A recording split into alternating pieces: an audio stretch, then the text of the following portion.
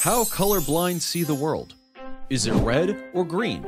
Several myths and misunderstandings usually surround those who are colorblind, from not seeing shading at all to seeing various hues altogether. According to the National Eye Institute, colorblindness is a condition where you see colors differently from other people.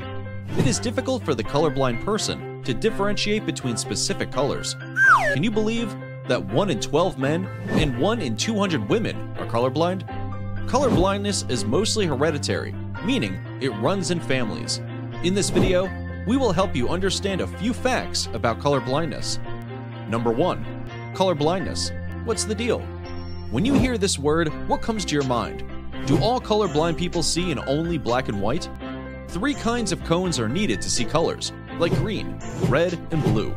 The brain uses this information to determine the color perception. The vast majority of people who are colorblind cannot differentiate between red and green color.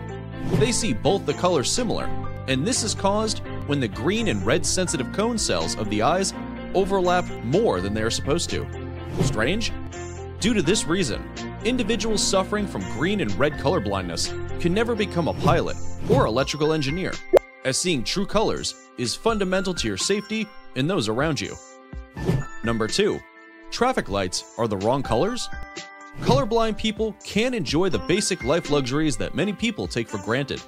In Romania, the government doesn't issue a driving license to colorblind people, as they are not able to differentiate between red and green color.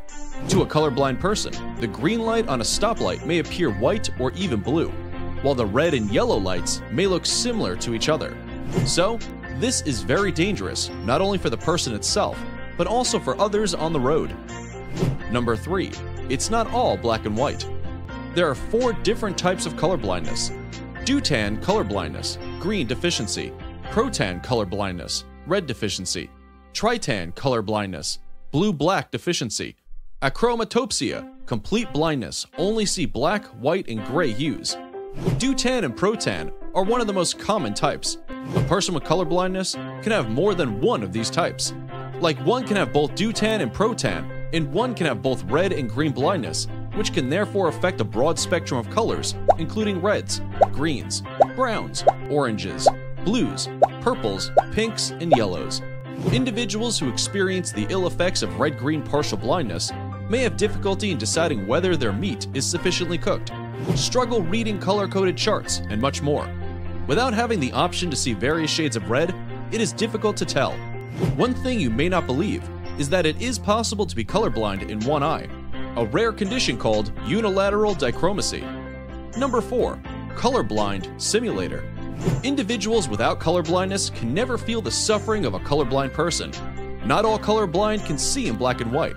Only 1% of individuals with colorblindness can see gray, black, and white. Many colorblind individuals daily struggle to match their blue and black socks. I would recommend you to use Pilestone's Expert Colorblind Simulator so you can see the world through the eyes of a colorblind person. It's likely completely different from what you think. Bottom line, colorblindness can cause serious trouble in everyday life. They often have a hard time when the banana is ready. Many are acquainted with the harsh taste of an unripe banana. Those suffering from protan red-green colorblind will be shocked to find out that peanut butter is not actually green.